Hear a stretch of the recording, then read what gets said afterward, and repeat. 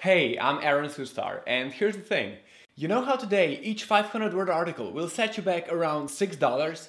Well, let me show you a way, hands-on, on how you can create 500 completely unique articles on a random topic like guitar lessons in less than 45 seconds. So that's 500 unique articles, which is $3,000 worth of unique content in just 45 seconds. Sounds good? Okay, let's get started.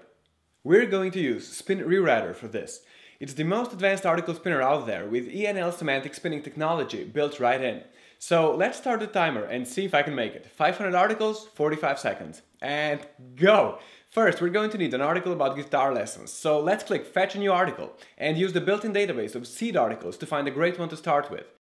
Let's uh, go with this one and boom! So now we're going to take this content and create 500 completely unique articles from it. I'm just going to click this button, which tells Spin Rewriter to do everything for us automatically. Now, if I wanted manual control, I could fine tune every little setting, but I don't need to because Spin Rewriter's ENL semantic spinning technology makes sure that the resulting articles are perfect. Okay, so here we have our spun article. Let's just click export, export every article in its own text file, and we want 500 unique versions. Click this button and ready to download. So, how easy was that? In less than 45 seconds, I've taken a free article on guitar lessons and created 500 top quality unique articles from it.